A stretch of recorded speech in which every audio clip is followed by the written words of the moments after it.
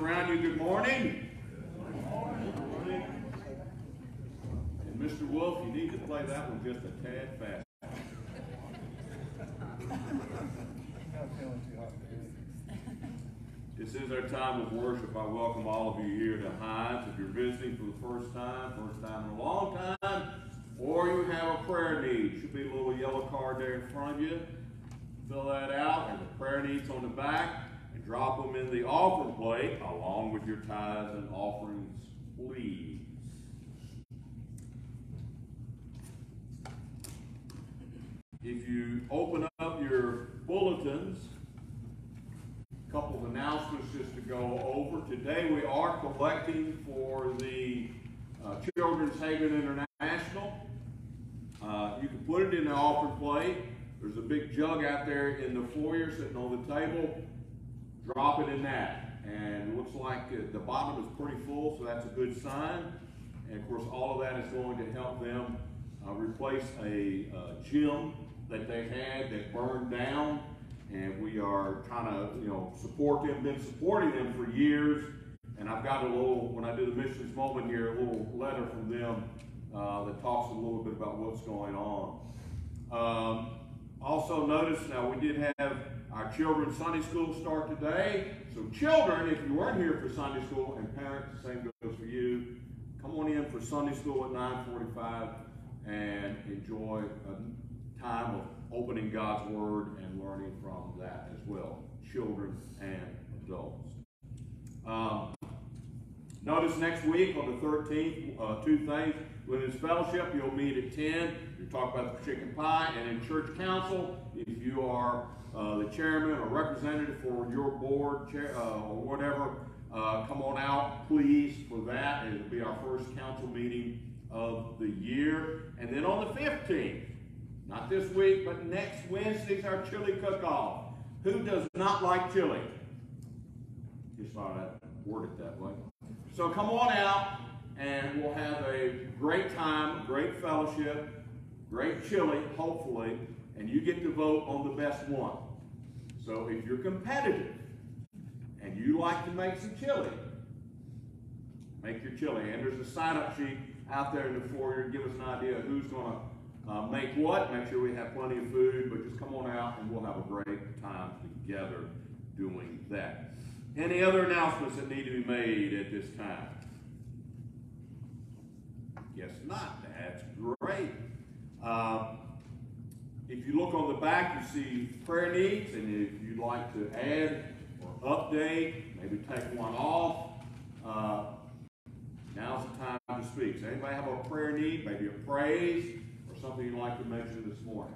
Uh, Carol? uh, Praise, um, my sister Sharon, um, went and had tests for her aneurysm, heart aneurysm, and they said that it has not grown anymore.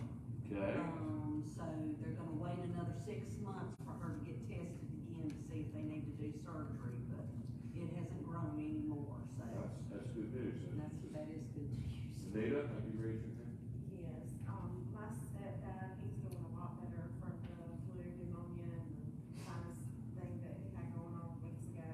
However, my mom has COVID, Uh, um, so I haven't, I didn't go around them for a few weeks due to him being sick, so, um, you know, she told me yesterday, and so, yeah. what's your mom's name?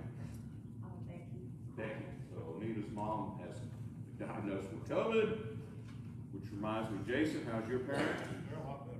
Lot better, wonderful, that's great. Anybody else, prayer need, praise? Um, Martha? A dear sweet friend of mine from college passed last week. I'd like her family remembered in prayers. Um, she was a wonderful teacher and she loved the Lord. She knew where she was going. And she is praising him today, I have no doubt. Amen. What was her name? The Terry Shriver family. Terry Schreiber? Shriver.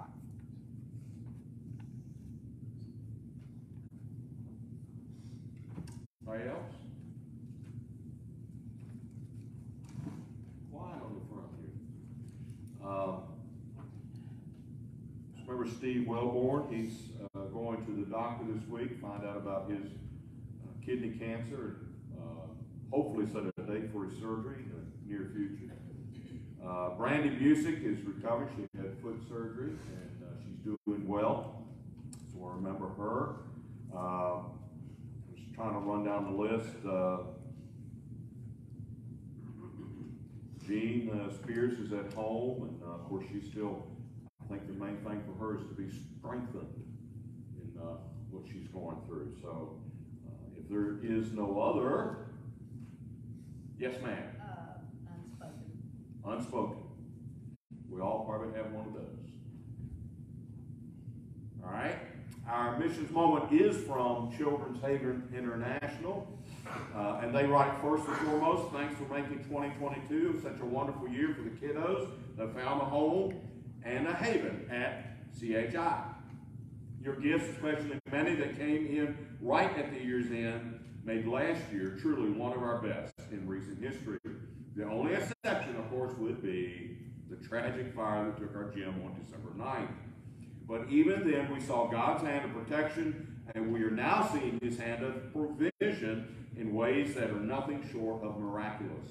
So please be on the lookout for a special mailing that they'll be sending out soon to bring everyone up to date on both what they refer to as Project SEAL and Project Fire Recovery. They have some uh, really exciting news to share.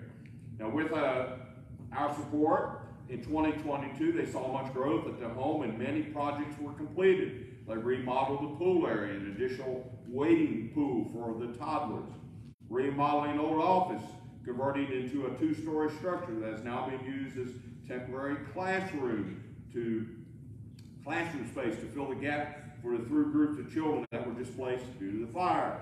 Uh, return to in-person school for all students, PK through college, uh, after a year and a half of the COVID break.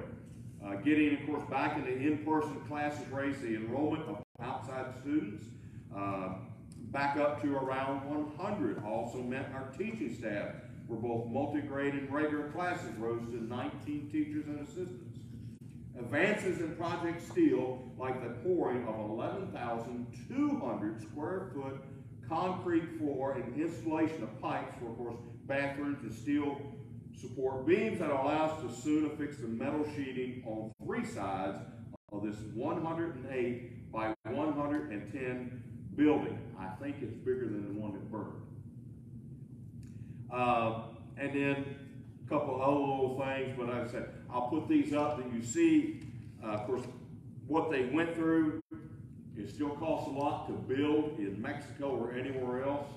Uh, but, uh, continue to keep them in prayer as well as other missionaries. You can read the rest of this. I'll put it out there. It'll be there next Sunday along with others. Uh, oh, I just lost their name. Have uh, different ones have brought send in letters. I get probably about one or more a week. Encourage you go out there and read them. Pray for them. Some of them have got a prayer list, uh, maybe on the sheet front or back. Uh, some of them are one sheet, some are multi sheets. Uh, and uh, but be in prayer for your missionaries. And with that said, let's go to Lord in prayer, shall we? Our gracious Father, as we come before you, we thank you for our missionaries, for all that they do all around this world. We only know a few and support a few. There are hundreds, thousands, I'm sure, Father, all around this world that are sharing the good news of the gospel of Jesus Christ.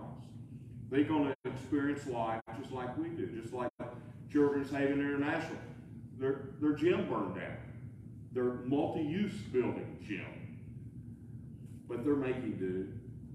And may what we collect today go and support them and be of great help. And there are others, Father, that we maybe they have a need. Maybe we learn of them. Maybe just to simply spend some time praying for them and their work. And of course, Lord, as I as I pray, May you bless each missionary in our world with the work of leading someone to salvation in Jesus Christ. And Father, for this service, may we all come a little bit closer to salvation in Christ Jesus. And I pray this in his name. Amen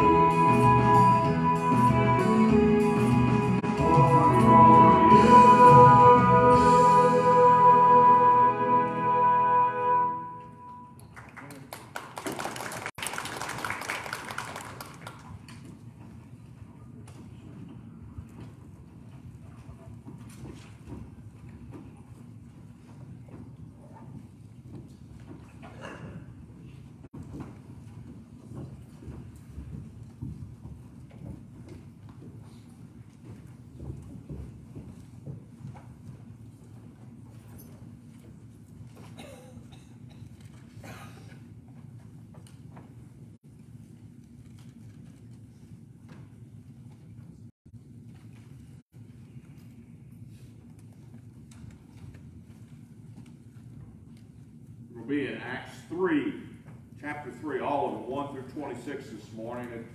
The message is titled Be Refreshed. And a little story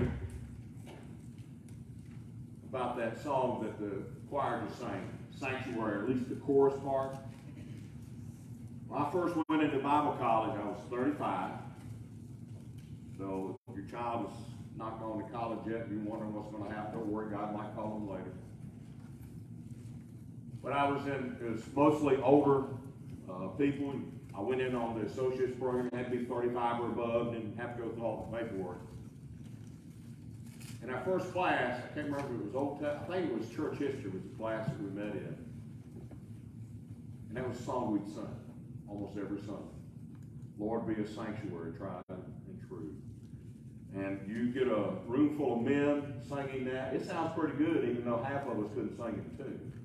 But uh, that song just means a lot to me. Uh, hear it sung again. Be a sanctuary.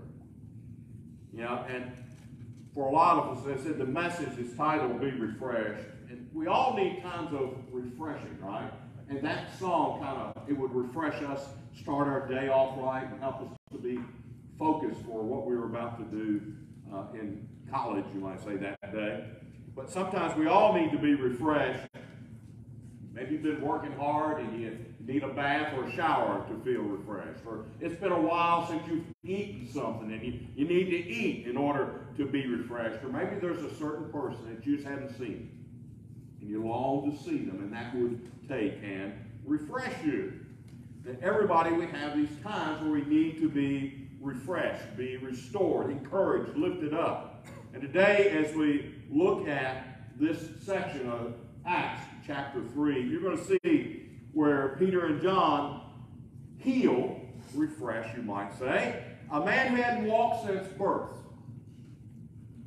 40 years, we learn in the next chapter. He was 40 years old and had never, ever walked.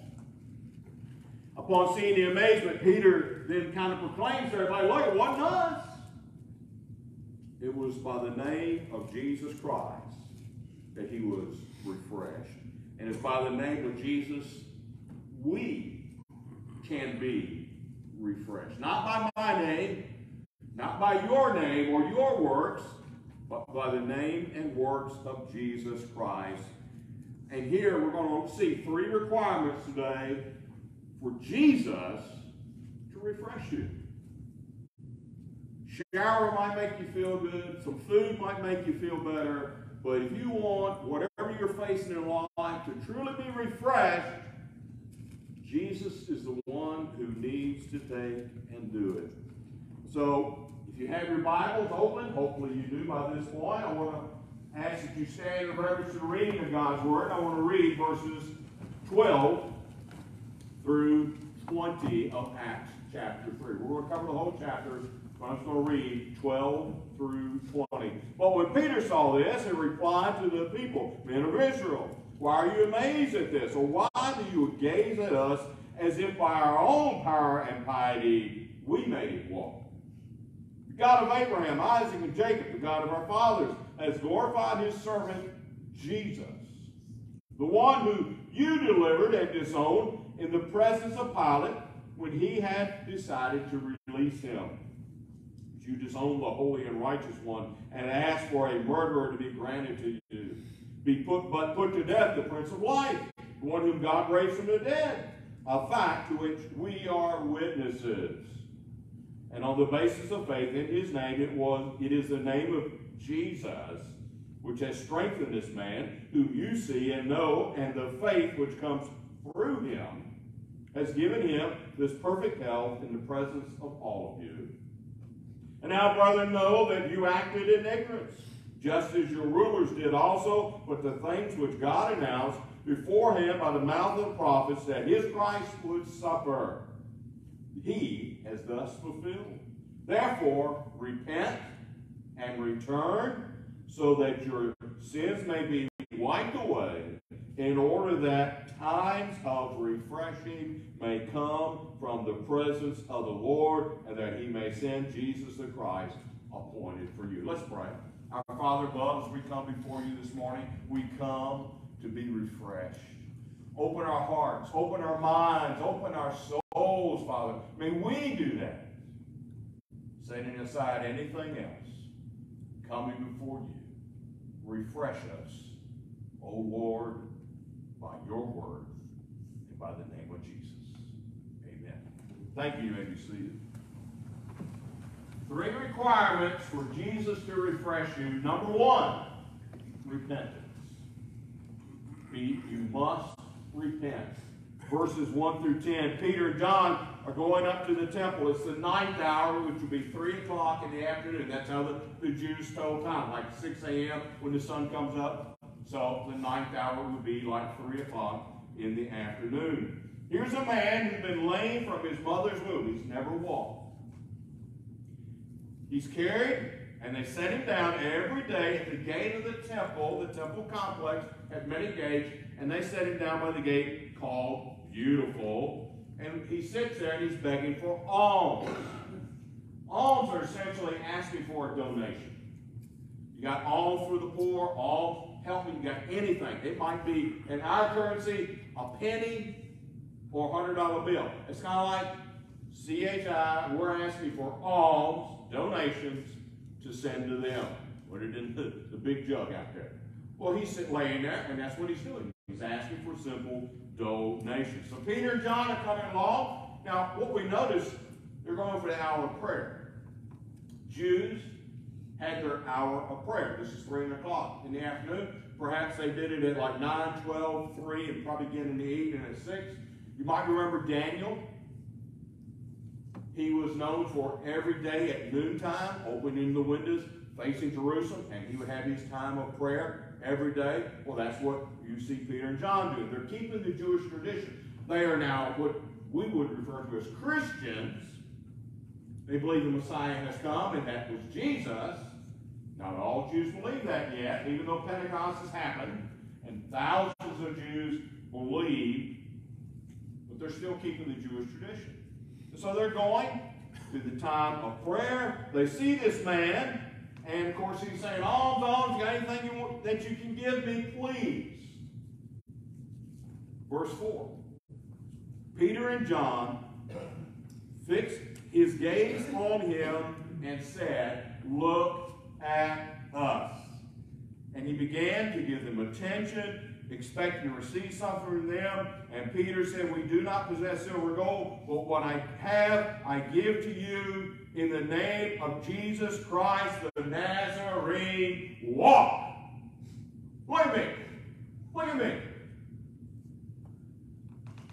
That's what Peter and John were saying. Look at me. Fix your gaze on me.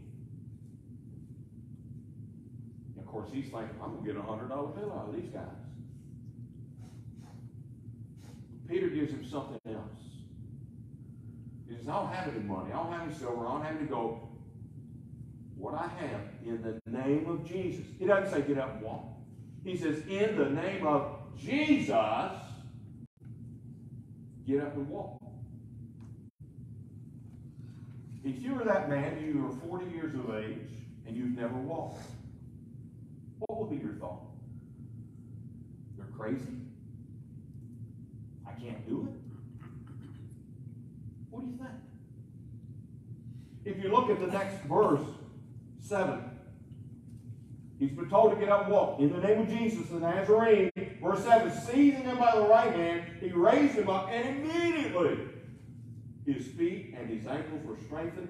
With a leap he stood up and he began to walk and he entered the temple with them, walking, leaping, and praising God.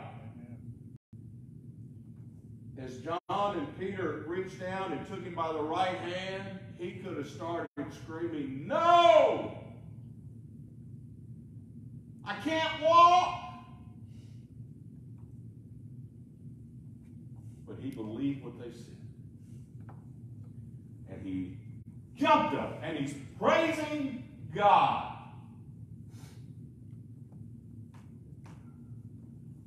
Everybody saw him. What verse 9 says, and they're taking note of him. Isn't that the one that used to lay by the gate called Beautiful, asking for alms? They're all amazed when they see him. Now, requirement number one is repentance. How does he repent? Well, if you look over verse 16, it's basically saying the man had faith and repented. He believed. Repent or repentance basically means to change direction. You're walking and living life your way, and you realize it doesn't match God, and so you've got to make a U turn, so to speak, and agree with God.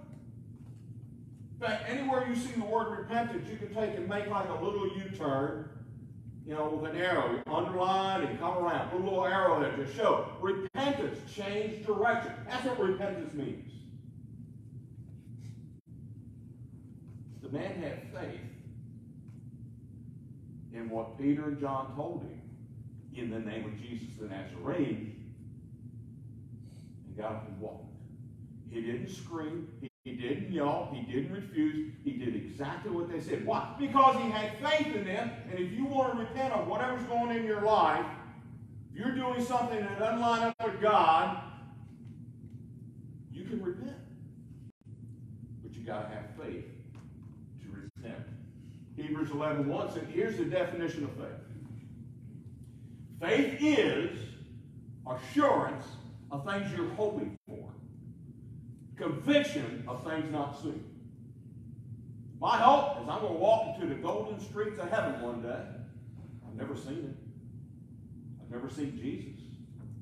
But my faith is in him, and that's how I'll be able to walk in heaven. Can I get an amen? Did you agree? Amen. That's faith. I don't, I'm not assured that I'm going to go to heaven because of my works or I've been such a good little boy all my life, why shouldn't I go there? Or I've given to missions, or I've done A, B, or C. I'm only going in because my hope's in Christ, who died for me. And I've confessed him as my Lord, as my Savior. Have I been the perfect little boy since then? No. I'm messed up. But God forgives me. And you're going to see more of what God does for us, too, as we go through this passage. But I'm convicted. Though I've never seen Jesus, need to see in heaven, I'm going to be there one day. And I hope you are too. Second requirement after repentance is reliance. Reliance. This takes us to the passage that I just read. It says, while he's clinging to Peter and John, now I don't think he's clinging to them to hold him up. He said, you got to kind of put yourself in his position. He's 40 years of age, never walked. How would you feel if somebody says, get up in the name of Jesus, pull you up, and you're walking, you're jumping, you're leaping? Wouldn't you be hugging on him too? I know I would. And I think that's what he's doing. It's not holding on to him to hold him up. It's thank you, thank you, thank you. Type of praising God and for Peter John introducing them to Jesus. Verse 12 says, when Peter saw the, the crowd, as verse 11 says, hey, this guy's walking. You know, he hadn't walked in 40 years, and the crowd is forming. And so Peter replied to the people in individual, why are you amazed at this? Or why do you gaze at us as if by our own power or piety we made him walk? Peter says, not me. I didn't do this. Now he turns to say how it is the man walked. God of Abraham, Isaac, and Jacob, God of our fathers, has glorified his servant, Jesus. The one whom you delivered, disowned in the presence of Pilate that he had decided to release him. You disowned the holy and righteous one and asked for a murderer, Barabbas, to be granted to you. And you put to death the Prince of Life, the one whom God raised from the dead. In fact, we're witnesses. Now, not everybody that's there at this time uh, would have remembered that, but a lot of them would have. What's my proof that they would have known about Jesus dying, resurrected, and so forth? Well, do you remember after Jesus' resurrection and he's on the road to Emmaus? And you got two guys that are walking along, Jesus kind of catches up to them, and he hears them talk, says, What are you talking about? And their response is, We're few men Everybody in Jerusalem and their surrounding it knows about this man called Jesus. The Romans crucified him. He was buried, and now they say the tomb is empty. He's alive. You see, everybody knew. Well, I'm not sure how long of a period has passed since then for where we are, but people knew. Gossip spreads quicker than fire. And that's what took place. There's all kinds of rumors. The Jewish leaders are trying to say that his apostles stole the body. But the apostles are saying, we don't have it. If that had been the case, the Romans would have searched everybody's home and found that body and said, here he is, but they didn't. And so here, Peter and John say, we're witnesses. We saw him die on a cross. We saw him buried in a tomb. We saw him alive. He was Jesus walked on this earth 40 days after his ascension. Sunday, I'll know if Sunday to Sunday or when. Says over 500 saw him at one time. Of course, all the apostles saw him. His brother John, uh, James saw him. He's been many a witness saw him alive after he died, crucified. And to be crucified, essentially, all the blood your body's drained out. Your heart, fluid builds up around it where it can't beat. That's crucifixion. It's the worst form of capital punishment ever. But John, Peter's like, look, hmm, we've seen him alive. We are witnesses. 16. It says, on the basis of faith, in Jesus' name, is the name of Jesus which has strengthened this man, whom you see and know, and the faith which comes through Jesus has given him this perfect health in the presence of all. You see, it was by faith in Jesus the man was healed. So Peter's claim. Wasn't faith in Peter and John. Wasn't faith in self. Faith in Jesus healed. Gave him perfect health is what Peter proclaims. Now, verse uh, 17. Brethren, talking to the crowd, you know that you acted in ignorance, just as your rulers did also, but the things which God announced beforehand by the mouth of the prophets that his Christ was going to suffer what he's fulfilled. You go back to the prophets, all the way back to Moses, through Malachi, in there you'll find where they declared bad things, we'll put it that way, were going to happen to the Messiah, the Christ. That he would be crucified, that his body, but his bones would not be broken, but that he would suffer punishment. It's in there. Well, he's fulfilled it all. Only Jesus the Nazarene fulfilled them all. Verse 19, therefore, I went too far. We'll stop at verse 18 then. And so what we see here is in order to take and be saved, we must rely on the name of Jesus. Rely on Jesus. I don't care what you're facing in life. You got to rely on Jesus. Now, mankind today wants to rely on money or their position or maybe somebody else or a false God. And a lot of us rely on self. Well, I can take care of this.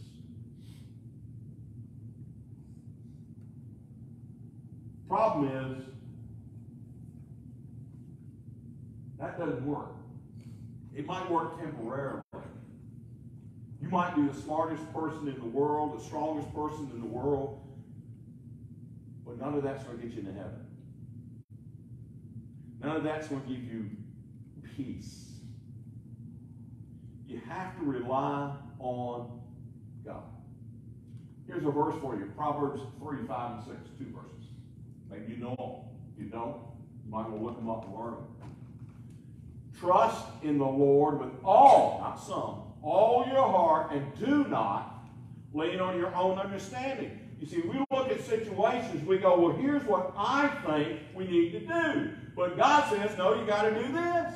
That doesn't make sense. Trust God. with all your very being, your heart, body, mind, soul. Don't do what you think's right. In all your ways, not some again, all your ways, acknowledge God, and He'll straighten everything out. Well, I, you know, I've been dealing with health issues for years, and I think I got to do this. Do you trust God?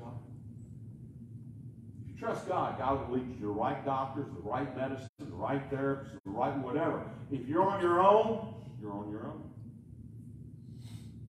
You got to trust God with everything. He's the great physician, not Doctor Whoever. You Got to trust Him, and He'll straighten everything out. Now, here's our human problem. I want it like, and it doesn't happen if you trust God with your life, and you're going to have some rocky moments, you'll have peace. Probably the most peaceful moment of my life was closing the back of the U-Haul truck. All of our belongings were in that truck or in our vehicle. The house was for sale, not sold. As we drove to North Carolina, where I was entering Bible college. You see, as I closed the back of that door, I felt peace. I was right in the center of God's will. It didn't make sense. Wait a minute, you got a house you got to sell, you got to get rid of that. You can't afford to make those payments. Paula had the hope of a part-time job. I didn't have one. Well, how am I going to pay rent, electric, put food on the table, pay for my? I didn't know. But I was right in the center of God's will, and I had that peace. I didn't know what tomorrow held. I just knew God. I was doing what God wanted. He straightened out my past. Everything worked out. Made it through. Paid for classes. Nobody went hungry. Lights stayed on. It all worked out. Because I had to trust God. Now, I wish I could say I've trusted Him every moment since then, but I failed because I'm human, and we all will. That's why this is a verse to learn. Write it down. Carry it with you. You run to a hard time. Trust the Lord with all your heart. Lean not on your own understanding. In all your ways, acknowledge Him, and He'll straighten out your past. Whatever you're through. So, requirement number one, repent, which takes faith. Requirement number two, reliance on the name of Christ. Requirement number three, rest. Rest. I know that's what everybody wants. Just don't fall asleep while I'm preaching. Now, verse 17 through 20. Now, brother, Peter says, you acted in ignorance concerning Jesus, is what he's talking about. Ignorance means you didn't know better. Uh, just as your rulers did also. Remember Pilate? Pilate didn't want to see Jesus crucified. He wanted to release him. But the people who on Sunday were saying, Hosanna, as Jesus rode in and laid their branches and coats on the road, like treating him like a king. On Friday, said, Crucify him, crucify him. They acted in ignorance. They didn't know who he was. They trusted on their own understanding. Verse 18 says, But the things which God announced beforehand by the mouth of prophets, Christ would suffer. That has been fulfilled. Yes, he was scourged. You know what scourging is? It's not just taking a whip and whipping somebody. And you ever watch old westerns? Some of them had that uh, whip they might snap. Well, they take that whip, the Romans, and put bits of bone and metal in the end of that. So when they whip somebody, it would take and literally stick in the flesh.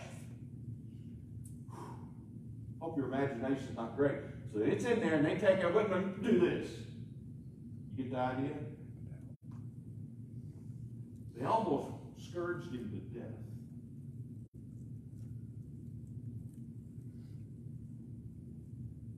He suffered just as the scripture said he would. But look at verse 19. Woo! All right, because of that, repent, change directions, and return, return to God, so that your sins may be wiped away in order that times of refreshing may come from the presence of the Lord. Notice what it says about your sins. They're not covered over. They're gone. As far as the east is from the west, they're wiped away. What if I sin tomorrow? God, forgive me, I sinned. 1 John 1 9. You confess, he forgives.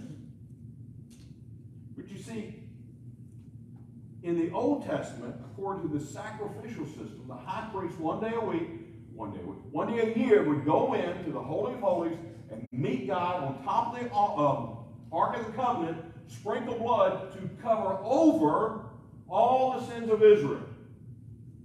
Since Jesus paid our sin debt with his own blood, they're wiped away. They're not just covered over, they're gone. Whatever sin you've done in your life, remember Jesus says if you're thinking it's a sin, you don't have, you don't have to commit it. If you believe in Jesus, it's gone. It's wiped away. To believe, you have to have faith in Him.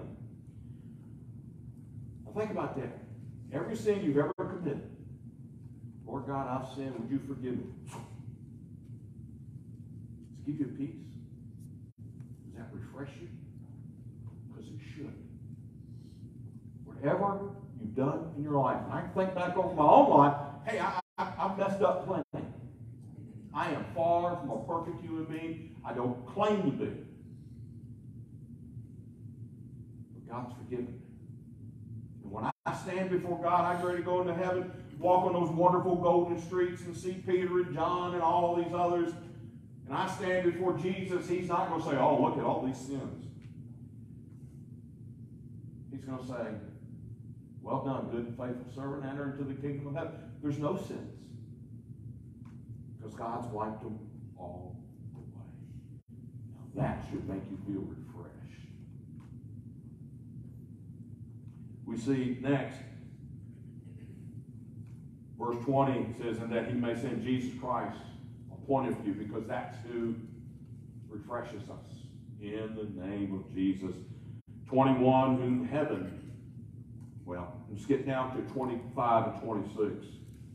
It is you who are the sons of the prophets, and the covenant which God made with your fathers, saying to Abraham, and in your seed, notice this, all the families of the earth shall be blessed.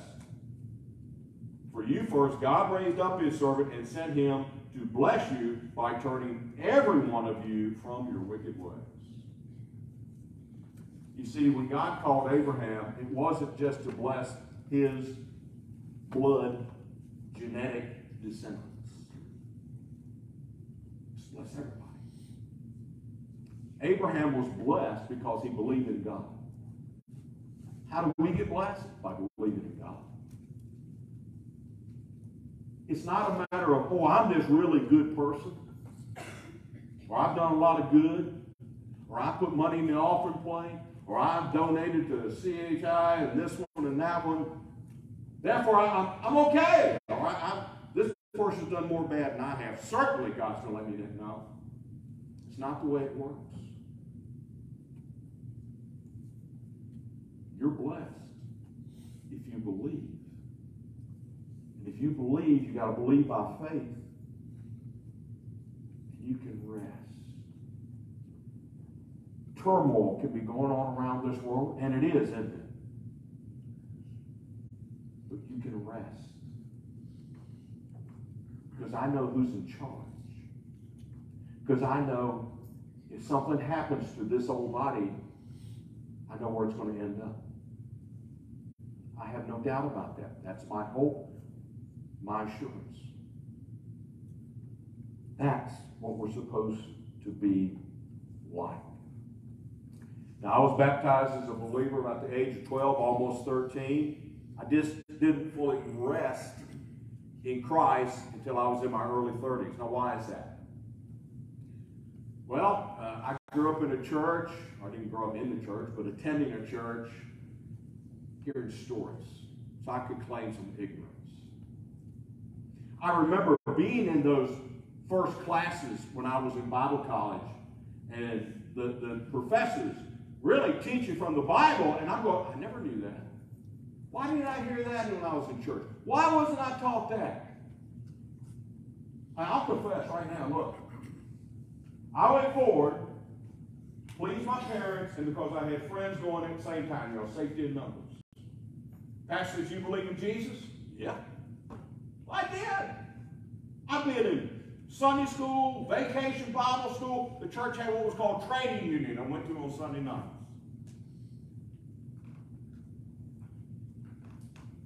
Was I ever told, bow your head and pray, God, I'm a sinner. Lord Jesus, come into my life and forgive me all my sins? No. I never prayed that. Was I saved? I believe I was. I went forward for the wrong reasons, but Jesus talked to me later and said, if you want a better life, which I'll tell you, if you want a better life, it's following Jesus. How's that begin? Faith, repentance, rely on Him, and you can have rest. You can have all kinds of craziness going on in your life, but you can have rest in the Lord. Because that's what it is all about. Resting in Him. Knowing that God may put you through something and give to get your attention. You may not like what you go through, but God's trying to say, look, you can rest in me. Stop trusting in yourself. We all have times we have to just simply stop, turn or return to God because we need His peace. We need refreshing. We need reviving. And we have to trust God with the unknown. Let me go back to that man, that paralytic. Peter and John said, Get up and walk in the name of Jesus. I had no idea what he thought. But he must have had just enough hope. Remember, Jesus said, This faith the size of a mustard seed can move them out. He must have seen something when Peter and John said, Look at me. He must have seen something in their eye. He trusted him. He trusted the name of Jesus the Nazarene. And as they pulled him up, he wasn't fighting back.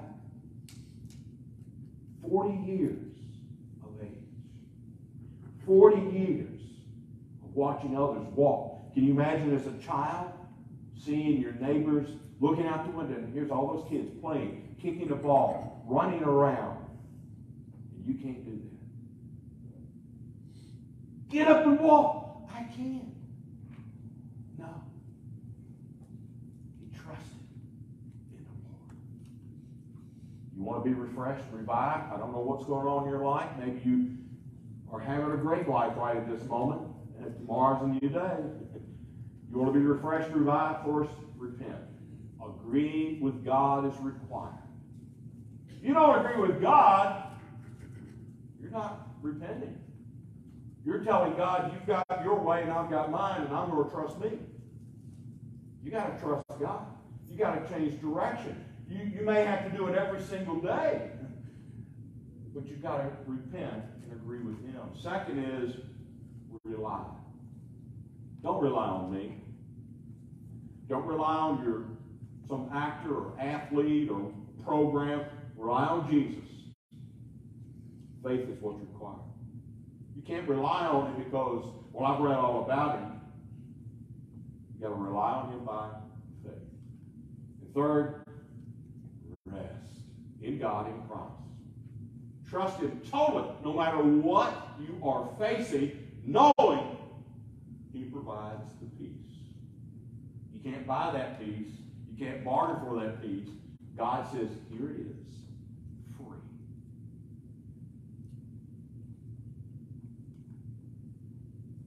Romans 8, 37 through 39. But in all these things, we, believers, overwhelmingly conquer. We have victory through who? Jesus, who loved us. Remember John 3.16? For God so loved the world, Jesus came to die on a cross because he loved us. Through him who loved us, I'm convinced neither death, nor life, nor angels, nor principalities, nor things present now, or things to come, or powers, those in charge, or height or depth, nor any other created thing will be able to separate us from the love of God which is in Christ Jesus our Lord. Can I get an amen? So let's say it together.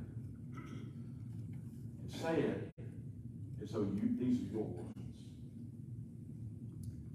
But in all these things, we overwhelmingly conquer through him who loved us. For I'm convinced that neither death nor life, nor angels, nor principalities, nor things present, nor things to come, nor powers, nor height, nor depth, nor any other created thing will be able to separate us from the love of God which is in Christ Jesus. Amen. Know this. God loves you. Tomorrow could be the worst day of your life. God loves you. Tomorrow could be the best day of your life. No, God loves you. Nothing can separate you. If your faith is in Christ, nothing can separate you from the love of God. Loss of job, loss of life, loss of a loved one, loss of finances, God loves you. But why? Maybe God just wants your attention because you've drifted from Him. No, God loves you. So let's talk with God. Know that God hears whatever you might tell Him. Listen to Him, and then you are to go. Be obedient. Do what He says. So let's pray. Father above, we come before you this morning. We thank you for all that you do in our lives. We thank you that when we pray, you hear us. We thank you, Father, that you forgive our sins. And Lord, you know where every human being in this building who might watch online, you know exactly what they're going through. Do they need to repent? Are they relying on Jesus? Do they need that peaceful rest that only comes from you? Speak, O Lord, and may we hear you. Speak, O Lord, that we will all pay attention. Father, if there's one here that needs to accept Christ for the first time or rededicate their life to Christ, may they listen and do as you would have them do. Because they're seeking peace. I don't want anybody to be ignorant. I want them to learn what you can do. You don't just cover our sins, you wipe them away. They are as far as the east is from the west. And I thank you. I pray this by the blood of Christ and in the name. Amen amen. As I prayed, if you would like to come forward to the altar pray for yourself, someone else, I hope you have at least one person. I made this request last year, and I'm going to keep reminding you. At least one person pray for their salvation. And you pray, I don't care how long it takes, years, for their salvation. And pray until they're saved. So they say Jesus is Lord and Savior. You got sin in your life. God forgive you. If you believe in Christ, He doesn't just say, well, I'll cover it up. He says it's gone. And by that knowledge, you can have peace. Be refreshed. Doesn't make you perfect, and it won't make you perfect. But it will refresh you to know you're forgiven you're in the eyes of God. So we're going to sing, good hymn. He did pay it all. Not some, not part. He paid for all your sins, whatever it is, past, present, and future sins. Jesus paid it all. Now you respond is he blindly leads. Everybody please stand. Page 232.